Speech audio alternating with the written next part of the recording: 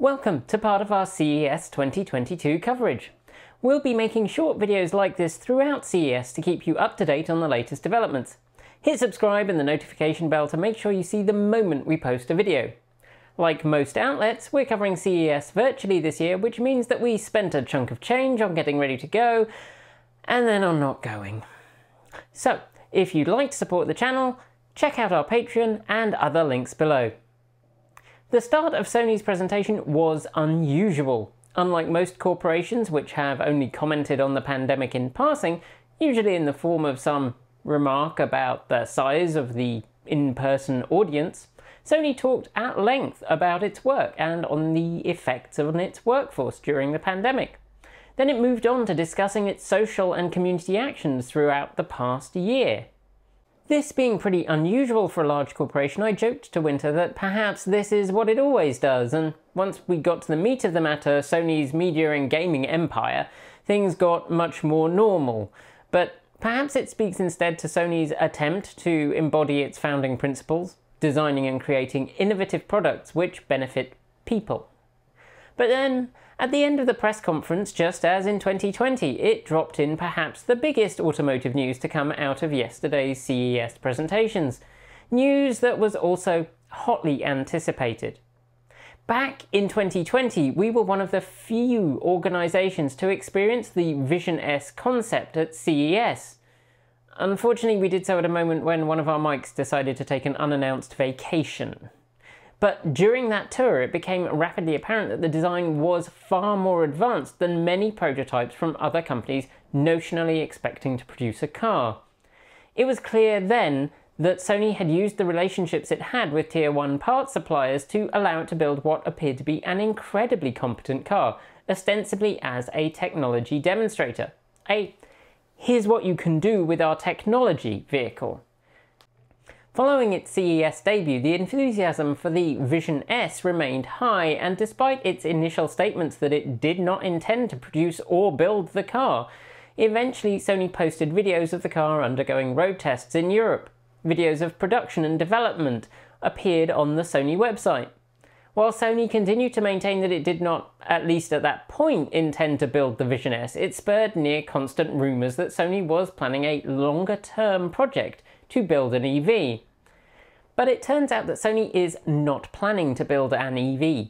It's considering building two.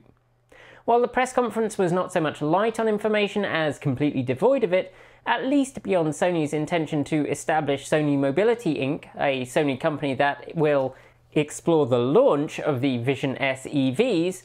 Oh, and obviously that Sony will use its experience in manufacturing, AI and robotics to assist in that process. Sony showed off the new Vision S02 prototype alongside the Vision S01 prototype. Note that both vehicles are now prototypes, not concepts. Since that press conference, Sony have released a bit more information, and since the Vision S range is based on the Vision S skateboard style platform, that's designed to support multiple different types of vehicle, from MPVs through to the original coupe, and since both the S01 and S02 share these underpinnings, we can extrapolate that they will likely enter production with specs that aren't wildly different to each other. Unlike the Vision S01 Coupe, the Vision S02 is described as an SUV, and as it stands it offers the kind of space that you only get with a dedicated EV platform and includes three-row seating for seven. A brief mention was given to the 40 sensors and the foundational model of safety, adaptability and entertainment, but little else was given away. Since then, however, Sony have updated the website, and at the moment it's saying that they share dual front and rear 200 kilowatt, that's 270-ish horsepower motors, providing four-wheel drive and the S02 promises a top speed in excess of 112 miles per hour. Riding on double wishbone air suspension with a wheelbase of just over 3 meters, that's 119 imperial inches, in a vehicle which is just shy of 4.9 meters long, or again 193 inches. Sony has remained tight-lipped about the battery capacity and charging capabilities of this car, but I'd be surprised if it didn't include 800 volt, 200 plus kilowatt charging at this point in time, uh, most likely with a sub 30 minutes 10 to 80% charge time.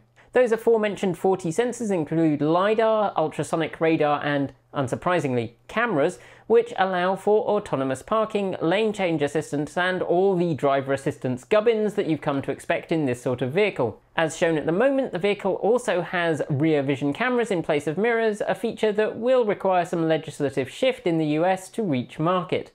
But given that Sony is just exploring production at the moment, it has time for that shift to occur. Sony's prototype in-car driver monitoring system monitors the driver's state, which is auto-speak for fatigue and attention monitoring, and interestingly adds lip reading functionality to improve voice recognition. Obviously being Sony, it leaned heavily into the in-car experience and entertainment.